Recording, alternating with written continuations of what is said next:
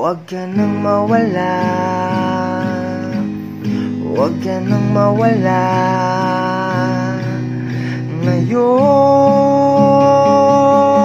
Dadalhin kita sa aming bahay. Di tayo mag-aaway. Aalis tayo sa tunay na mundo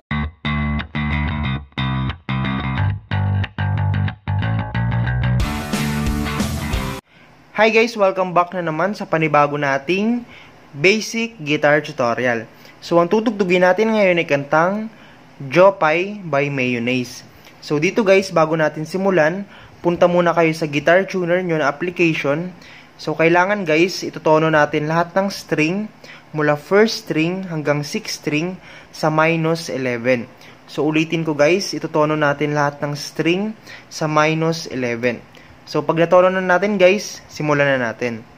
So, para sa intro at verse natin, magkaparehas lang sila guys ng chords. Ang chords natin para dito ay D at C chord. Yan.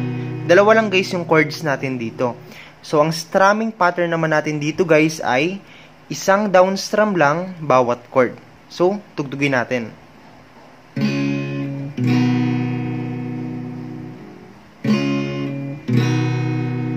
Then verse, Jopay, kumusta ka na? Palagi kita pinapanood at nakikita. Jopay, pasensya ka na.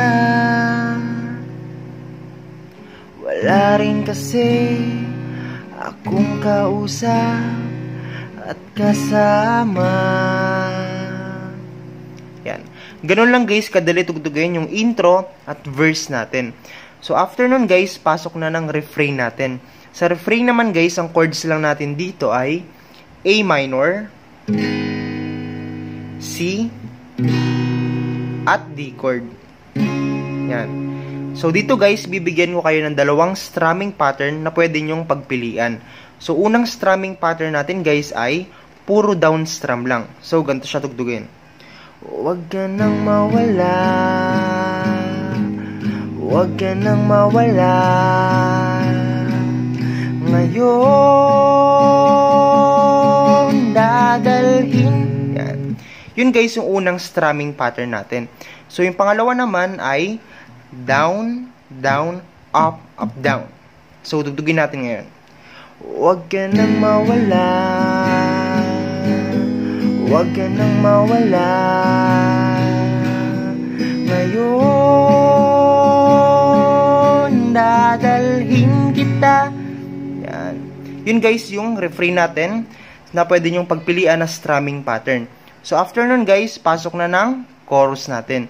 Sa chorus naman natin guys, ang chords lang natin dito ay G, A minor, at B minor. Sa B minor natin guys, ito yung gagamitin natin. First string dito, then second string, 1, 2, then third string, 1, 2, 3. Pag in-strum siya guys, itong apat lang na string. Yan. So, tugtugin natin ngayon yung chorus natin. So, ang strumming pattern pala natin guys sa chorus ay down, down, up, up, down. So, tugtugin na natin. Dadalhin kita sa aming bahay Di tayo mag-aaway Aalis tayo sa tunay na mundo Yan. Yun guys yung chorus natin. After nun, pasok na ng verse 2 natin. Same lang ng chords kung anong ginamit natin sa verse 1. Jopay Kumusta nang ba? Buti ka pa. Palagi kang Masaya. Jopay Buti na lang. Nariyan ka ako mag-isa Then, refrain Huwag ka nang mawala. Huwag ka nang mawala. Ngayon Dadalhin kita sa aming bahay Di tayo mag-aaway Aalis tayo sa tunay na mundo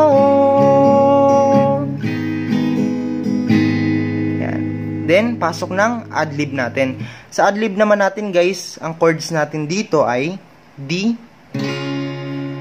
at C chord. Yan. Apat na beses yan guys. Uulitin para sa adlib. So, tugtugin natin.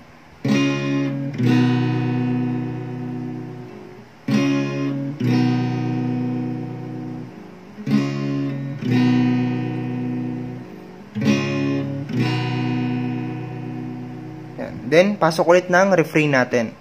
Huwag ka nang mawala Huwag ka nang mawala Ngayon kita sa aming bahay. Di tayo mag-aaway Aalis tayo sa tunay na mundo. Dadalhin kita sa aming bahay. Di tayo mag-aaway Aalis tayo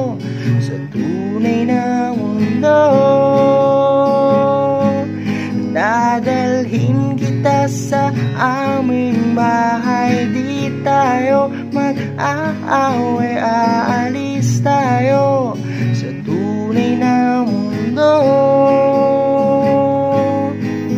Dalhin kita sa aming bahay. Di tayo mag-aaway Aalis tayo sa tunay na mundo